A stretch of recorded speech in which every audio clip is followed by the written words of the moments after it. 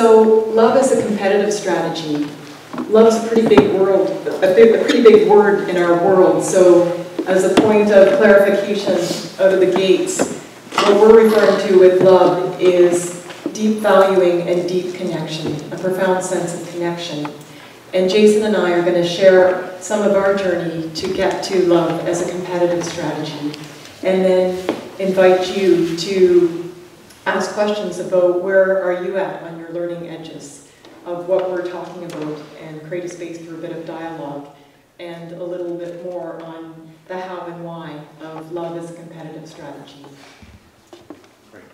Thanks, Robyn. So I'm going to try and get by with the gym voice. So um, hopefully that works out. Everyone good so far? You can hear me? Okay, great. You know, I won't lie. When I was um, earlier this morning when we were going over some things, and um, and I was looking at this topic, uh, I had a chuckle because if my 24-year-old self was sitting at the back of this room, he would um, he'd have something to say about this, right? At a coaching conference referred to as a festival, using the word sport, energy, and consciousness, talking about love, right? It just wouldn't be my world. But it hasn't always been that way. My Olympic journey began, like so many, I'm imagining, young boys and girls who have a childhood dream. And uh, I was no different. At the age of six or seven, I met an Olympian, a rower. His name was Neil Campbell, and he rowed for Canada at the 64 Games in Tokyo and the 68 Games in Mexico. And he sat in the stroke seat in the Canadian men's eight. And if you don't know anything about rowing, the guy who sits in stroke seat sits at the front. He sets the rhythm, the pace. It's a tough seat. And in Mexico, Neil was 38 years of age. And it wasn't because they couldn't find anyone else, right? he was just that good. He was that tough. He was that mean. Neil would go on to become a rowing legend internationally. He would be awarded the Order of Canada, which is the highest civic award in our country. And he would be someone who had a huge influence on my life. To describe Neil, he was a John Wayne character. And I know I'm showing my age a bit. which essentially meant that he was larger than life, he was charming, charismatic. He walked into a room and people noticed. The first time I rowed for Neil, I was 16 years of age at a school in southern Ontario called Ridley College. It was grade 11, and it was amazing. Neil was amazing. Like so many boys, I idolized him. That man walked on water. My relationship with him was complex, like so many athletes and coaches. I respected him, I admired him, I trusted him, I feared him, I loved him. Of all the things that Neil taught me, and there was a lot, one of the biggest takeaways was that he taught me how to win. Rowing for Neil in high school, I won a lot of international championships. But he utilized what he had been taught, which was a combative mindset, right? Essentially that meant that in Neil's world, in my world, rowing for Neil, a rowing race was a war. The course was a battlefield. Our competition were the enemy and our job was to kill them. And that's not a stretch.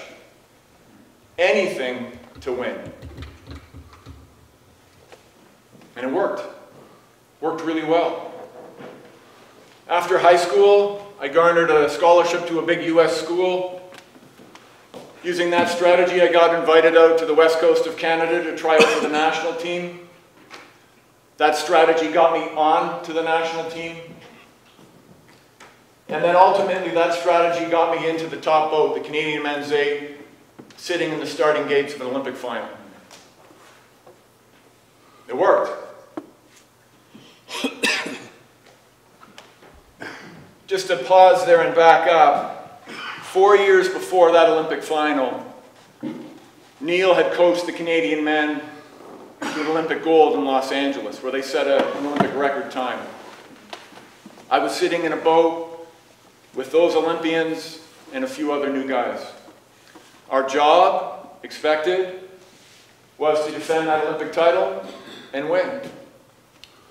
Less than six minutes after the starter's command, we finished the, or we finished the race and crossed the line in sixth and last position, or DFL, as we used to call it. As if we needed reminding, the Globe and Mail, Canada's national newspaper, bought the photograph, cropped it, put it on the front page of the national sports section, and then they tagged this headline. And a week after that final, we came home from Seoul and we walked into that. Wow, I'll tell you what, as a 24-year-old kid, I was ill prepared for that moment.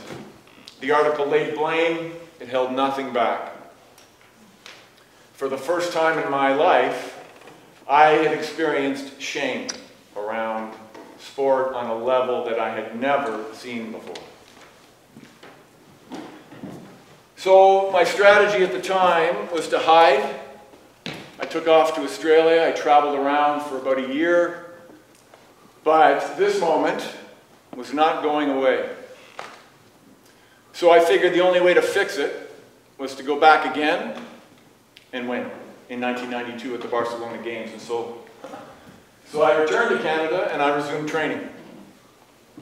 In fact, I use this photograph every morning before practice, afternoon before practice, evening before bed. And I'd look at that picture and I would remember. And the rage and the anger that would boil up, oh my, it was unbelievable. But wow, was that an effective source for training? Powerful. Revenge and retribution were the ticket, right? But as we, some of us might know, revenge, retribution, powerful motivator, it's got a short fuse. And mine blew up after about six months. I retired from rowing and began a phase that we now refer to as athlete transition. At the time, we didn't even have a name for it because we didn't talk about it, which kind of compounded it because not only was I going through this experience, but I thought there was something wrong with me for going through this experience. The experience can go the whole gamut. Rage, loss of identity, loss of purpose, anxiety, depression, eating disorder, addiction, suicide. I stopped at the addiction. Thankful.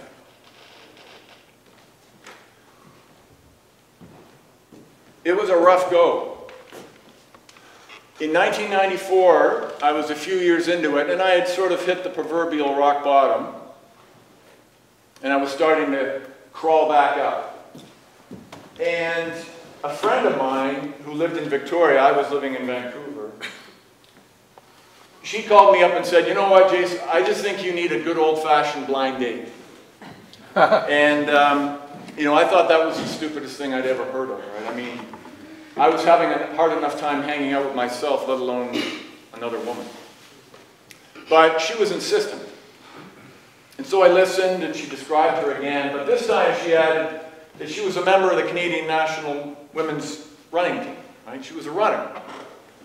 And that was intriguing for me. Because every in-middle distance runner that I had met up until that moment was bold, and strong, and confident, didn't take crap from anybody, They were on purpose. In reflection, she was everything that I wasn't. And I wanted to meet her. So we did. On a beach in Victoria, Caddy Bay, mid-July, beautiful day.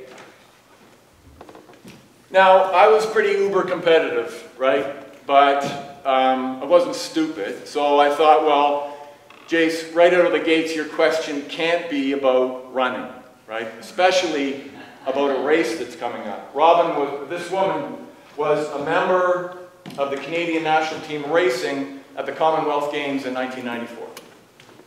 Victoria was hosting those games. And she had the final of the women's 3,000 meters coming up in about a week, right? So I knew about the race. Anytime I knew about a race, the next question was invariably, how are you going to do, right? Are you going to win this thing or what? So I thought, well, let's just wait a bit, right? Let's just talk about normal stuff. So three hours later, we're still yakking, and I haven't asked my question yet. So finally, I just came out with it. Now, at the time, I had a description of what I would have considered an acceptable, possibly even normal answer. And the answer that I got was anything but. She said that she was going to go out in the race and just do her best, right? Her best. And, and then just see what happened. At the time, I, I was embarrassed for her. I just thought, wow, you're a national team runner and you're going to go do your best? I, I mean, it's, it's, one thing to think it, but you don't tell anybody that, right? but then it got worse. She then went on to say that the reason she was just going to do her best was because she had struggled with some illness through the winter and spring. She had some challenges with her immune system, and so her training was on again, off again and that she wasn't feeling prepared. She wasn't fit, wasn't ready. But she still felt that she should go out and see where she is in her training. And I thought, wow, of all the reasons to not race, you've just named a few. what are you doing? A week later, it's the day of the race. And I had already bought my ticket before the date. Dutch Scottish heritage, I wasn't giving that ticket away, right? I was going to go watch that race and use that ticket. So I went over to Victoria, showed up at the stadium, found my seat just as the starter sent the runners off. No surprise, all the top international runners were gone. Top Kenyans, Canadians, Australians, Brits. And this particular woman, she was gone too, right? But but unfortunately gone to the back of the pack. In fact, tied for last on the opening laps. Here she is, about third from your left, with the red hair. Hint, hint. So, at which point I'm kind of thinking, you know what? If there was ever a moment to step off the track and DQ, now would be the time, right? Because this is going to end really badly. And this is going to be embarrassing. And why would you self-inflict that? But she kept going. And five laps into the race, we now have two groups running. We've got a lead group, all the top runners. 50 meters back, easily, we have the second group. And in that group, we have this woman.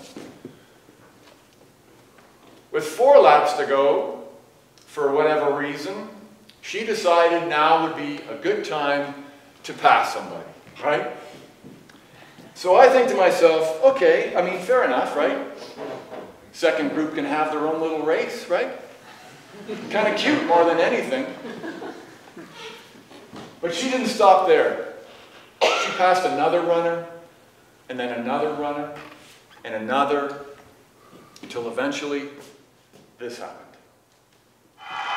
And in that following group behind the two Kenyans, Leah Pells and Robyn Meagher, and they've got to start making a decision as to whether they're going to go after the Kenyans. And as I speak, Robyn Meagher is making that decision, and he's running up on Alison Wyeth's shoulder. So it's Angela Chalmers, the two Kenyans, Alison Wyeth, Robyn Meagher. And, we, and Robyn Meagher place behind Alison Wyeth. 50 metres to go for Angela Chalmers of Canada, and it's going to be a battle between Alison Wyeth and Robyn Meagher, who's now moved into second place with it 400 metres to go. Vivian Bell's following too. It could be gold and silver for Canada if Robyn Meagher can hold on. A brilliant repeat of Auckland.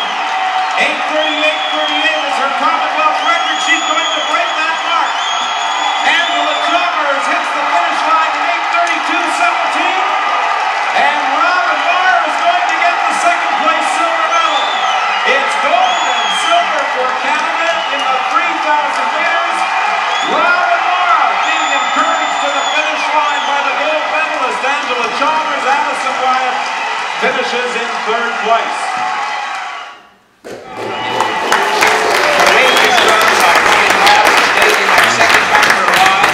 and then decided to test Alison Wyeth, proved that she was the better runner, and kicked very well over the final 150 metres to gain the silver medal.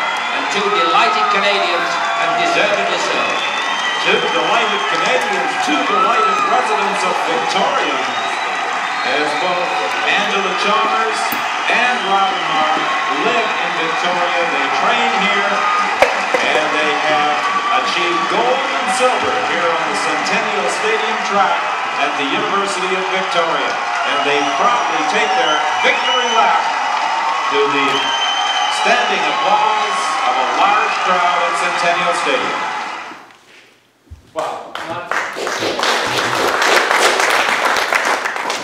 Not exactly what I was expecting, right? I mean, in fact, not what anyone was expecting. Did you see the look on Angela's face when she turned around? I mean, she was as shocked as anyone. She knew Robyn's situation.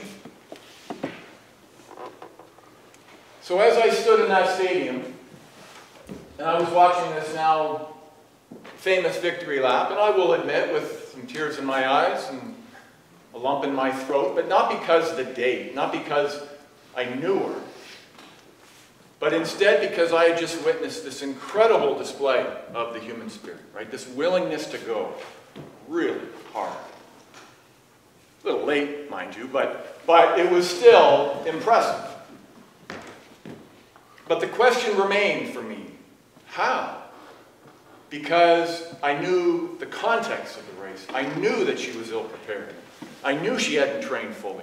And she had this, this really weak strategy going into the race to do her best. and so the question was, how do you put that together and come out with a silver medal against some of the top runners in the world? How is that possible? The first time I saw this photograph, it's a beautiful photograph. I thought it was where the team had got a photographer and they'd done these little run-bys, right? Sort of like for a sponsor or something. I don't know, like a, like a hair product. and then I found out that this photograph was taken two laps from the finish line of the race we've just watched. Now, I've never had a photograph of me taken with 500 meters to go in the race, but I'll tell you what. If I ever looked like that, I'd want the photograph destroyed, along with the negative. Because that is not the face of a competitor. Not in my world, right? She doesn't look mean, doesn't look exhausted, doesn't look like she's trying to kill anyone. That's beautiful. It's graceful. How does that go with high performance? Well, what I've kind of figured out over these years is that Robyn ran simply for a different reason than I would. For Robyn, it was all about journey. And she was journey-centric. And her motivation came from an intrinsic place. Came from inside. And the interesting thing about intrinsic motivation is that it's grounded in love. Love is what lights intrinsic motivation.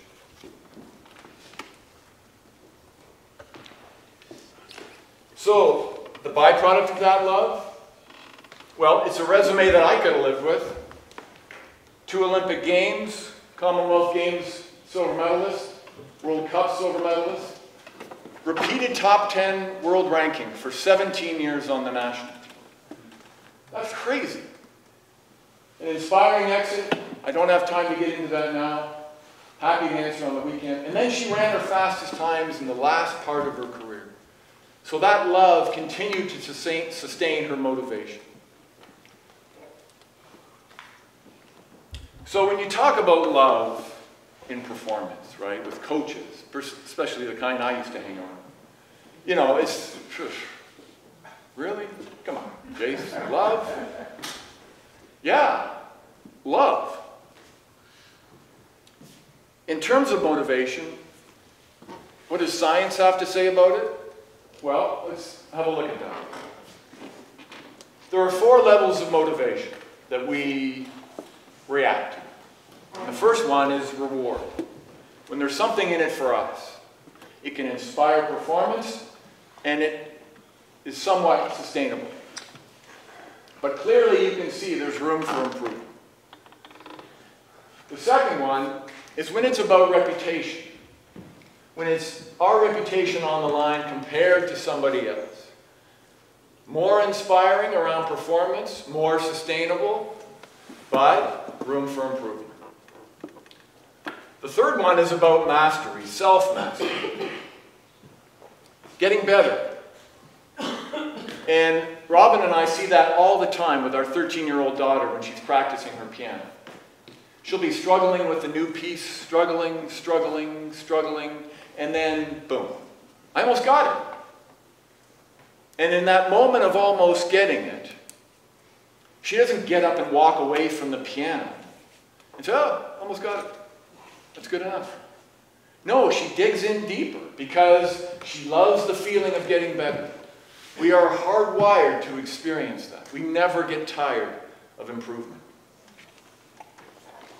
The fourth one is service, contributing to the greater good, right? Charities rely on this. Without that, they'd be in trouble. Again, it is innate for us to want to contribute to something bigger than us. If you've ever worked at a soup kitchen, not being paid, it's a pretty cool feeling. A feeling you want to replicate. So essentially, there are four levels of motivation. And when we rank them, we, they show up like this. And the research around this, perhaps no surprise, is grounded in economics, in business. Studies were done in MIT, London School of Economics, because companies wanted to know how do we motivate our employees. But the research isn't consistent with how we behave.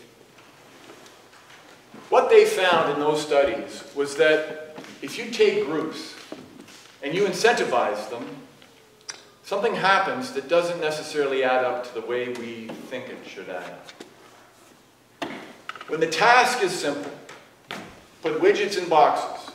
For every widget in that box, you get more money. Incentivizing works.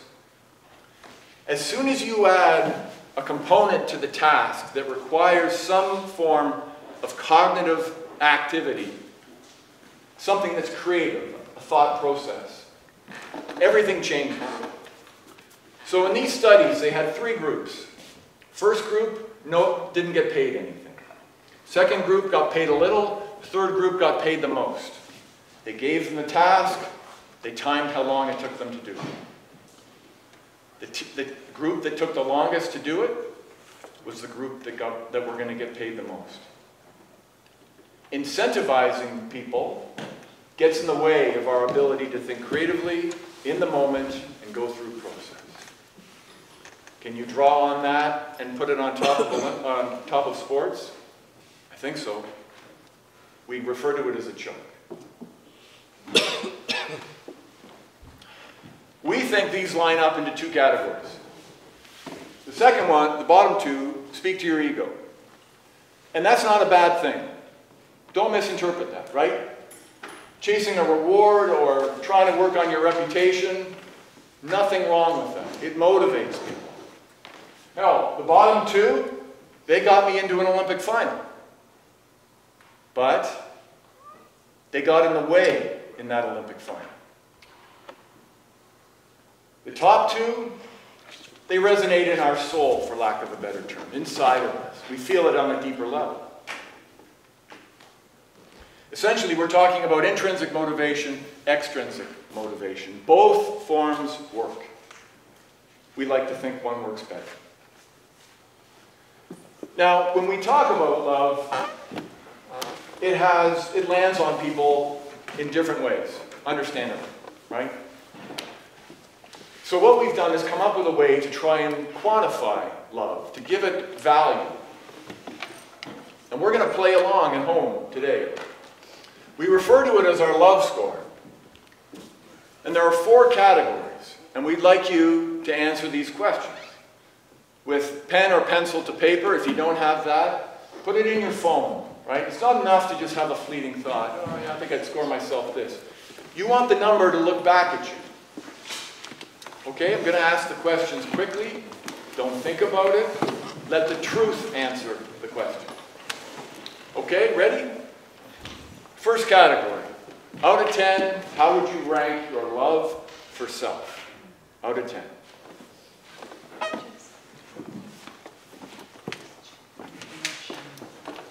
Oh, sorry. You are not going to read these out. so, this is between you and yourself. Thank you. I'm not going to share this. Second one, the endeavor. So in this instance, let's reference sport, okay? It's why we're here. How much do you love what you do within sport? As a coach, as an athlete, as an administrator, as a parent? Choose a category. How much do you love what you do? Out of 10.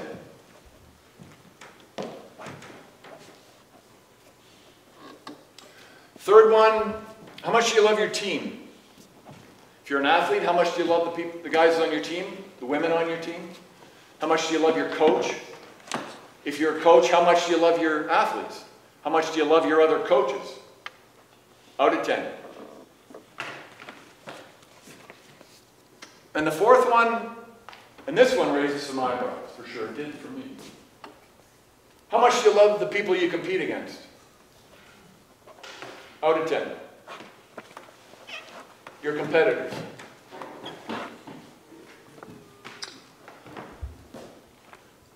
Tally it all up. Scores out of 40.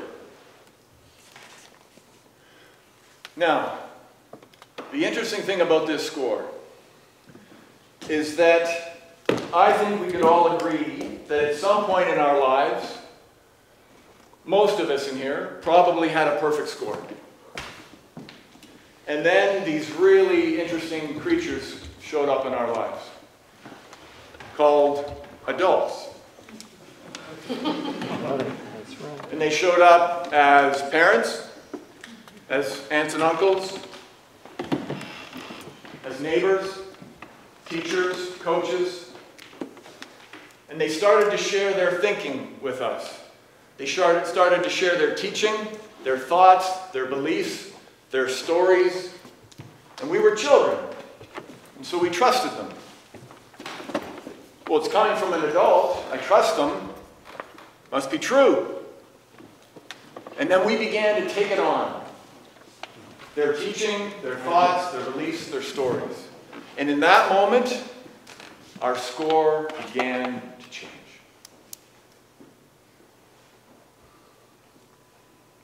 If I were to go back and do this score, backing into those starting gates, 21 maybe. Maybe. In my bid for 92, probably a 6. Zero, zero, three on a good day, two on a good day, two, three on a good day. Every number short of 40 is an interference. Interference gets in the way. Every number short of 40 gets in the way of our ability to perform. Strategy, technique, fitness, diet, mindfulness practices, all of it goes through the gatekeeper. This is the gatekeeper. Of all the things we have to do as coaches, this is one of them. we have to improve our score. Because even though we didn't share, we always share, right? We smell like our score. We drop indicators and hints all the time. And our athletes smell it. Of all of your bag of tools that you have to work on as a coach, I would add this one, and I would give it the most amount of room. The sad thing about this is that the athletes that I've worked with personally, national team, aspiring national team athletes, who have accomplished incredible things, who one might consider would be high functioning people, none of them have ever scored over 20. That's learned. That's learned. That's why we like to believe that coaching isn't a job, it's a privilege. It's a privilege to have the power of this influence over the young lives that we touch. Tim Gallwey, fascinating guy. Inner game of tennis, inner game of golf, inner game of work. I'm not going to get into them. Google him. He has a really cool um, equation around performance. Performance equals potential minus interference. All things being perfect, our performance should equal all the preparation that we do leading up to that performance. The trouble is, it doesn't work that way because we show up and we create interferences and we get in our own way and we undo all of the potential.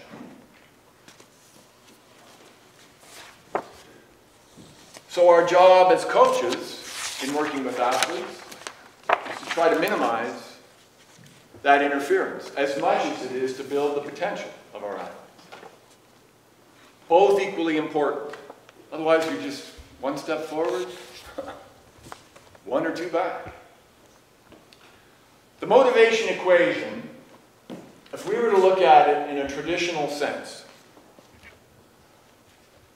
the traditional paradigm, for lack of a better expression, would be, it might look like this, okay? Athlete plus an active coach equals motivation. When I first started coaching, this is certainly what I bought into. It was my role to motivate my athletes. And I think the traditional sense of it, certainly Hollywood depicts it as such, right? A good coach kicks garbage cans, throws hockey sticks, swears on the sideline. That's a coach, right? I mean, come on. It's our job to motivate these athletes. But what if, what if you took the coach out of the equation? And what if in doing that, you empowered the athlete to be responsible for their own motivation, and in doing so, created more powerful, more sustainable motivation? Part of the challenge around that is that the first equation for some coaches is more fun. I want to be that guy. I want to be in the spotlight. I want, to, I want people to think it was my job and I'm the reason they got that good. But in order to step into the second line, you have to come to the realization that it's not about me. It's about my athletes. Not always an easy revelation for some, right? Guilty as charged. When I first started coaching, I was the top line. I like ad coach about 50 times, and that's me. It was my job to inspire athletes, and I used some frightening tactics to do so. Why? Because that's what Neil taught me. We change when we have a reason to change. When I met Robyn, when I lost in soul, when I went through what I went through, I had a really good reason to change. Quick story. When I went back uh, for my last coaching job in St. Catharines, Ontario, believe it or not, I went back to my old school, my high school, alumni. And I got hired to sort of help out with the program. And when I got there, we had done some cool stuff at a school on the west coast on Vancouver Island called Shawnigan Lake School. So when I got to Ridley, you know, there was, a, a there was an expectation. And so a number of athletes transferred to the school because they wanted to row for the school. And the reason they came to the school was because they wanted to win a national championship, they wanted a gold medal, they wanted their name on the Calder Cleland, the most expensive trophy in all of Canada, and their parents wanted them to win scholarships to the US. So when they showed up, it was all about them, right? I get it. I get it. So we met 2010. I gathered together all these 16, 17 year old boys, big boys. And I said, I understand why you're here. I do. But my job is not to focus on that. My job is to create a culture of love. 16, 17 year old boys.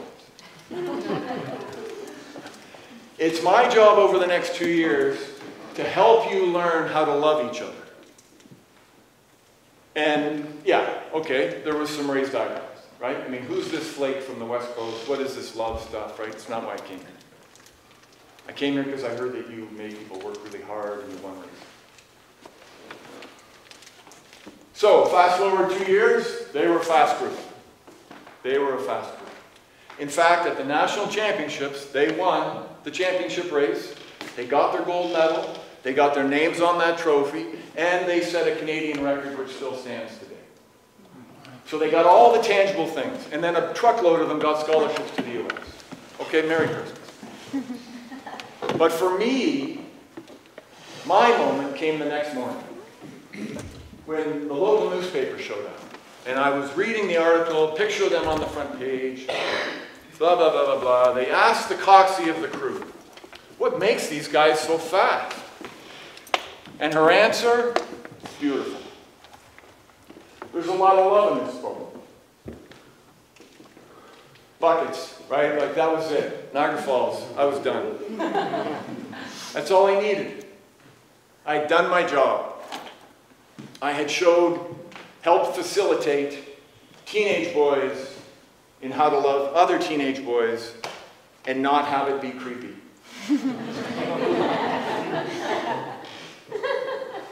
the result of that was some pretty cool stuff. But my job was to teach them how to love, work on their love score. What we believe when love is the foundation of who we are and what we do, not only do we set ourselves up for extraordinary success, but a life brimming with happiness and fulfillment. It's, uh, I can't argue. I can't, even if I wanted to, right? Even if that old guy were to get up, not old, I guess younger, even if he were to come up here right now and question, I'd just say, look, I can't go back to that way because it, it's limited. I mean, it works, it works enough, but it doesn't work as well as it could. And that's what I'm interested in.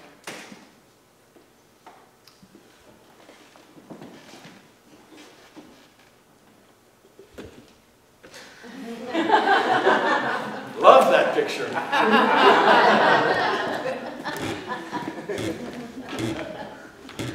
Closer to Quasimodo than the other photograph.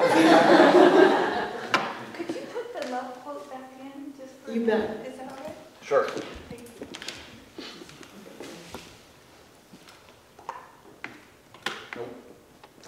So very for love would be given.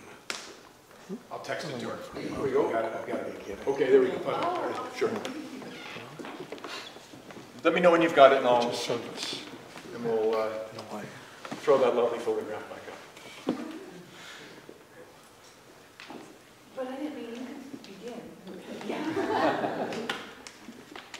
So I had my own journey with arriving to the place that we're talking about. I grew up on the east coast of Nova Scotia, number seven of nine, and sometimes getting to the bathroom in the morning was a big competition. So I grew up in a very competitive environment where achievement, doing your best, was emphasized. But I had embraced the traditional values of going for it and excellence. And there were a number of steps along that journey that just kept inviting me in a certain direction. And one of those was, I was 12 when I started competing on a national level. And once I got a lot of publicity, I noticed adults started treating me differently. And the message from that was, what was wrong with me before? I didn't want my sense of who I was as a human being to hinge on my performances. So I distanced myself from my identity as a competitor and wanted to have a really clear sense of who I was and why I engaged in what I did that had a sense of inner freedom from that. I didn't want to feel like what I did had my value wrapped in it. And so identity was a real key piece in that journey of what am I about, what do I care about? And in quiet moments on the rocks, when I moved to the west coast in Victoria, when I was in a place of just sitting there, there was something in me that wanted to be a force for goodness, and that was my truth. And I wanted to honor that. And I was very sensitive as a young person, and I wanted to feel like I could be my own person. And so I felt like the rock that I had to stand on was knowing who I was and what I cared about. And if I could live aligned with that, then I would have the freedom to live life on my terms. And I kept getting invited to a theme about relationship. I remember I was, after my first year at university, I went home for a visit, and my sister was in nursing school, and she had Women's Ways of Knowing. knowing. Anybody ever hear of that book? Yeah. So it was such a, a moment for me to read about the dominant cultural values of strength and independence that I had, I had embraced those values, and I had rejected the part of me that was more relationally focused. But reading about that, there was something that happened and it just allowed me to drop more into my relational self and it felt like a freedom to do that. And then that just kept showing up. I remember taking a course on relationships in my early 20s and there was a part on the science of the brain that talked about there's a part of us that doesn't differentiate between self and others. And it was another moment of, oh, that's why the golden rule. It feels better to do unto others as I would want to have to do unto myself. And the more I focused on expanding my circle of care, where I was included and everybody I included in my circle of care, it felt more, life felt fuller. It just felt better. So that theme just kept showing up again and again. But when I would step into competition sometimes and feel afraid of what the other competitors would, would uh, take away from me, I felt myself contracted and small. I felt tight and I couldn't compete as freely. And it took the fun of it. It really wasn't fun to be have your stomach in knots and to be anxious stepping up to the line and to feel like you could be judged by how you did. So there was a lot of searching in that process to find a way to inner freedom. And there were more bumps and more ups and more downs after the 92 Olympics. I had a great season in Europe and came home, took a break, and wanted to get ready to train again, but I kept getting sick. And a sports medicine doctor said, based on my blood profile and what was going on in January of 94 that it could take years to get back to international competition.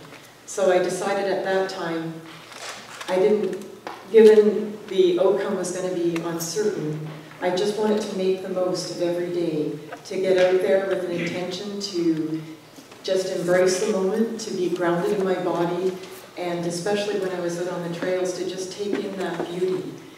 And the gift that was waiting for me in that process and that journey was huge. So stepping into a place of uncertainty and unknowing, I just, and just learning to be present in my body, it was a profound awakening for that process to be a gift in itself. And all kinds of healing happened in that time. So when I stepped into the Commonwealth Stadium, just being open to the possibilities, I opened to what could be in a place of trust and letting go. And feeling the connection to the crowd in that space and allowing that connection to just flow through me. Life was happening through me in that moment. and I got out of the way. And that was such a profound teaching, that whole process of learning how to nourish my body with food and be in the moment took me into a place of deep discovery. And the richness and the joy that I felt in that process, that was the gift that I wanted to continue to explore and discover. That, that younger self that felt tight and contracted with knots in her stomach, when we, a benchmark for us is our 13-year-old daughter. We've both been in sport for a long time, and we want her to have a ha- happy, healthy sense of herself, to be grounded in her body, and to be awake and aware in the world, and to have a sense of her gifts. And that's a beautiful thing, it's a powerful thing. So when we step into that place, life is really juicy and fun. And that's something that we really want people to embrace as a part of a rich life. And it's not always that way in sports, so it can be challenging to be in environments that have different ethos. And so for us, cultivating that culture, and for me, that theme of relationship that just kept building, I had a passion for health, but what kept coming up was the primacy of relationship to health and well-being. Across every measure of health and well-being, across the lifespan, having people that you feel care about you, that you feel connected to, is the biggest predictor of health and well-being. And so I, I went on to study somatic psychotherapy and did relationship training and understanding how to work with this instrument in an embodied way and in a relational way because I, I then began to understand the science and how we could more purposefully help people connect to that inner place, that heart space.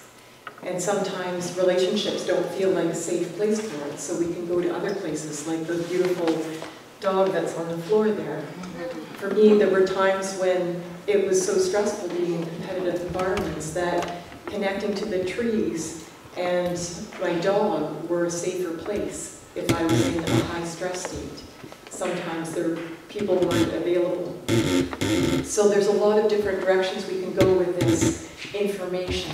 But I want to pause for a moment and just see where you are on your edges of what we're talking about and how you're trying to more fully come to your level of full performance in your life. Any burning questions? Any? Yes? Uh, yeah, just now you, uh, two, three minutes ago, you said you had a you were running that life was happening through you. Yes. Could you expand on that and also what, what led you to that realization you come to that? How, how did you come to that? Yes. Um, It was a humbling space to be in, and it was about connecting to intention, to open up and be in the moment. So the qualitative difference of feeling the sense of I'm going to create something versus a sense of open space internally where I'm open to the possibilities, but in a heart space of deep connection there's a, a flow in the experience where I, in, in that experience, I felt like a part of a bigger process. Life was happening through me. It wasn't just my small sense of self directing something. It was a creative engagement and a dance where there was a bigger sense of flow and possibility. And it felt like it, it was grounded in a heart space of being connected and supported. And so there was a lot of possibility, but there is a very different sense to that than a sense of, I'm going to get in there and kick butt and make things happen in a way that feels tighter and it feels more willful, but it feels like a space of less possibility. And so part of my practice of wanting to, part of my practice was spurred on by having moments of waking up in a hospital in my first year of university. Um, I had got hit by a car and woke up in a hospital and I thought, wow, what if that was it? What if the life never went on again? what am I here for and what do I want my life to be about? And continually coming back to intention. And my best moments, the practice of that quiet time on the trails in nature, where I just focused on my body and my breath moving back and forth between that and the beauty around me. It expanded my sense of self, moving into that connected space where energy rose up through me and my heart space felt huge and out of that a sense of connection to the earth and the gratitude for how it fed and sustained me and how beautiful it is and to be in the moment and feel that and to the people that I met that I wanted that energy to come through me and I just felt like I see you, I feel you, and I'm glad we're here together. It felt like a beautiful space to occupy as a way of living. And I wanted that gift to infuse how I competed in sport. And sometimes that felt really hard because my own fears and an environment that didn't feel safe triggered me. And I would move into that smaller space. And so the practice became, how do I move into that space? Because life feels really rich and beautiful in this space, and I want to honor you and celebrate life. And what I could do in my training from that space, it, it was so much more powerful than that athlete that was really gutty and hard, but tight, because yes, I could gear down and go hard, and I knew how to do that as a young athlete, and it got me into chronic fatigue and a compromised immune system. And I was really afraid at a certain point of, I don't have the energy to get out of bed, and I keep getting sick. What if this is my future? And so reclaiming my health and coming back to a space of inner freedom and possibility was a really rich part of my journey that I'm grateful I stayed in sport long enough to mature into that space. And then moving into practices with somatic psychotherapy and the whole field of interpersonal neurobiology, where we learn that we're fundamentally wired to connect from the time that we were born throughout our lifespan. And through that connection, we learn how to be in that space and expand the possibilities of what we can be together. So helping people to skillfully, deliberately move into that space together is a really rich experience in itself. And it's something we can do every day to help one another be in uh, the kind of world that I, for one, would like to live in, would be friendlier and more connected. So I've spoken a lot to that question, but any other thoughts? Yes? Um, you used the word gift. Did it feel like receiving a gift? This, the space in the The- Especially the performance at the Commonwealth. When I say gift, I felt in that space like life itself is a gift. That being alive is a gift. And it, it evoked a deep sense of reverence for life. So what could happen through me, I felt gratitude, but it felt humbling. And it was humbling because I felt the vastness of life, and it felt like a beautiful gift to be connected to that and in service to that. Wanted to ask, how is the field different whether you're running privately through a forest or publicly in a stadium? And, and so the forest was easy for me because some of my early years of competition at a university level, there were traumatic experiences that really overwhelmed me. And the sport arena wasn't a particularly safe place for me. And so one of my ways to cope with that overwhelm when safe people didn't feel like a big part of that container was to go out and get into the forest and to connect with the living system of the earth. And so the it was harder at times to be in that safe, in that space in competitive environments. But what I'll talk about in a few minutes, um, learning how to, to do that with people became part of my healing journey as well. And, yes. Jason spoke about kind of how destructive his athlete transition was. Um, and I was just thinking about the, the kind of stark contrast between both of your stories in, in comparison of how you went about your athletic endeavors. So I was curious if you might be able to talk a little bit about your transition out of professional sport into what came next. And, and did you face any of the same challenges or did they still come up even though you had this, this kind of intrinsic gift? Um, Yes, so I run almost every day. I love getting out into the forest. And I, I went to graduate school after I finished competing. And so I was in the best shape of my life in 2000. Um, and put some of my fastest times down on the track. And I had pain in my lower back. And then uh, thought, I did a warm-up, did a few 200s, thought, no, I, I can, I can manage this, and did a blow-away workout, and then could hardly walk across the parking lot after that. And I miscalculated, and my Olympics, at the peak of my athletic um, development, was, was done. I couldn't come back from that. And so there were tears for me, but it was, I was grateful for what I learned through athletics and what it had taught me, and I wanted to continue to embrace that practice. And I still had lessons to learn around letting go of that, letting go of sport. So there's still pieces of that that even today I work with, but the gift of the practice was something that I treasure and I still take with me. What I realized, there's layers of it, and the part of sport that wasn't healthy for me, part of me, what I didn't realize in that transition was I was still trying to get that performance to even the score of what went so sideways for me in the underbelly of sport.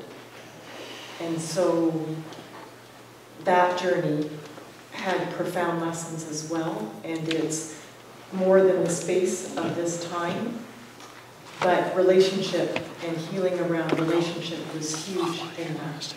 And my training in somatics was a big part of that. And I wish I had known what I knew later and how that would have helped me within the sport arena when things weren't so wholesome and healthy.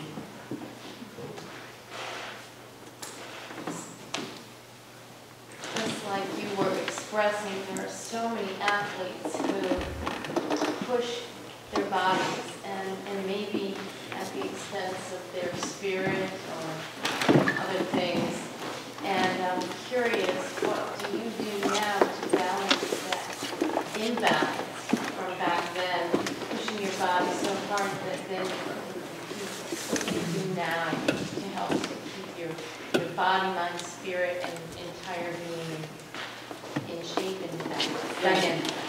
Well, one of, one of my processes was in that time, early time of intense overwhelm in my first two years of university, one of the ways I tried to cope with that overwhelm was emotional eating.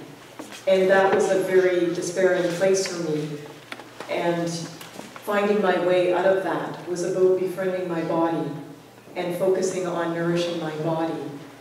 And so my, I always valued health, but the window expanded where I was competing within a window that honored my body. So as a young athlete, I was as hard as you can, as intense as you can, and then if you, if you go flat, then you pick yourself up and do it again. I learned a different way because I lost my health.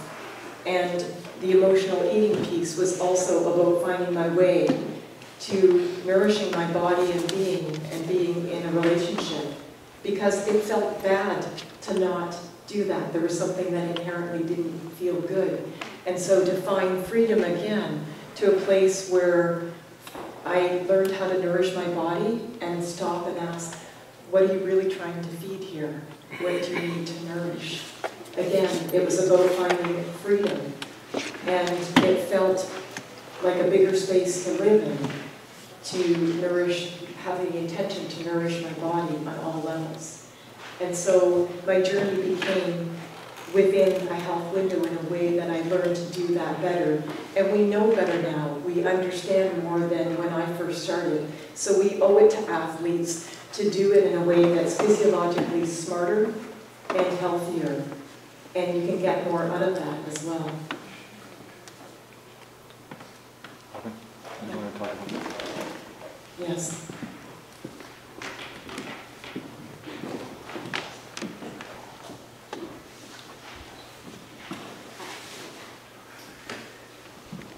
So any, have any of you here heard of Stephen Porges' work and polyvagal theory? And the whole field of interpersonal neurobiology? Yes. So that whole field is quite expansive and it looks at, again, the whole piece of how we're, we're wired to connect with one another and that we we learn to regulate our inner life through relationship. And so when we're in, we have a, a certain zone of arousal in our nervous system. And when we're in that optimal space, that optimal zone, then we are more capable of performing better. But when there's too much fear, it bumps us into a hyperarousal state of either anger or agitation or hypervigilance. And if that doesn't, if it's the fight flight mode, and if that doesn't work, then we can collapse into a freeze response, an immobility response where we feign death. And so when we're in a zone of optimal arousal, there's sufficient safety to connect with our higher brain circuitry and to perform at our best. Social engagement, the part of our nervous system that picks up whether we feel safe, in danger, or life threat, goes to the body first. The body decides whether we feel safe. If the body doesn't feel safe, then the story that emerges out of that is one of fear, gloom, and doom. If we feel safe in our body, then we naturally move towards possibilities and more expanded thinking, and our perceptions of our environment, of our body and our cues are more accurate. So we interact with our environment more skillfully when we're in a state of social engagement and in that optimal zone of arousal. But the biggest element that helps us be in that zone is safe, caring relationship. And if we don't get enough of that, we continue to be motivated in ways that we're trying to protect ourselves compared to being in a place where we're trying to connect with one another and be creative and expansive in what we're doing. So turning towards one another in ways that we know when we're in a place of safety and well-being, and that system is working. A lot of this week weekend is about things that help us get in that zone. What we take in through nourishment helps our body feel safe when we're well nourished. Having time outside in nature, the earth that we evolved with, helps us. But and being embodied, but learning to be in caring relationship with one another is the biggest card that we've got, and it's what we can give to one another. So this whole weekend is going to be about exploring ways that we can do that.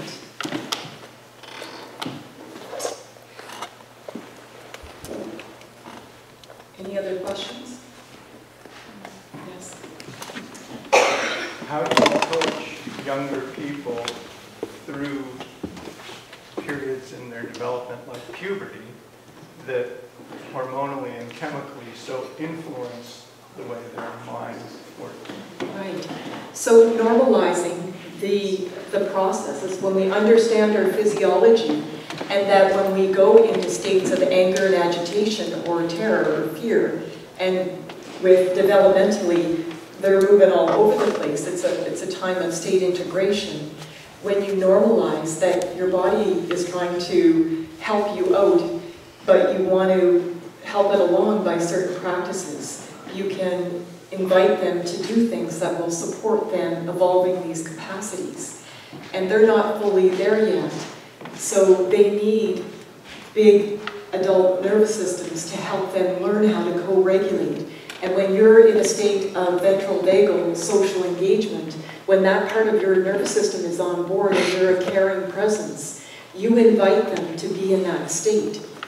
More than any words that you say, what's happening in your body communicates with their nervous system and tells them whether this is a safe place to be. So your presence alone is a teaching to their nervous system and an invitation to be in that state. They may not be able to receive the, the invitation right away, but if you stay there, it's an invitation that can will eventually bring them on board. Okay. Are you a somatic psychotherapist now? Yes.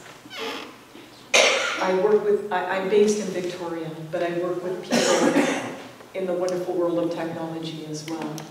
I just got my master's degree in somatic psychology and I'm in my third year of somatic experiencing. Wonderful. It, it's a lovely time in terms of understanding stress, trauma, and optimal functioning. To, the work is so filled with hope in terms of understanding that we've got this instrument to work with, but when we know how to work with it skillfully through energetic practices and understanding the nervous system, the beautiful thing, I did training as well in Eden Energy Medicine, and the language of integration or harmony, when the different parts can function the way they're intended and connect with one another, we can function at our optimal state. And energetically, when the different parts are connected and in harmony, we have a higher level of functioning. So they may speak different languages, but they're coming to the same place of interconnected harmony. And so using sport as a vehicle where we, we can come back to that place. For me, the 96 Olympics was a time when I felt a bit of despair about where sport was. The, the Olympic torch was a replica of the McDonald French fry holder. And there were athletes that came from sold goats in Kenya to come and, and participate in the Olympic Games. And there was there were just all kinds of things that happened there that were a glaring example between the disparity between the Olympic ideals and what was happening. And Juan Antonio Samaranch, the head of the IOC at the time, was giving his closing ceremony speech, and he was a fascist sympathizer. And so I was feeling a bit discouraged about where we were with sport at that time. And then Stevie Wonder stepped on stage and started to play Imagine. And it brought me back to my heart. And I felt like, imagine if this was the spiritual Olympics, and it was about how we can bring out the best in one another and love one another and be connected. That's the journey that I want to take. And that's the journey that I'm going to keep taking, but I don't know where it's going to lead me relative to sport. And I guess ultimately that's our invitation here.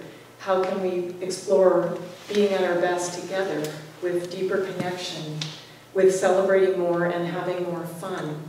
Because it's a way lot more fun to be in that space and play together than the alternatives.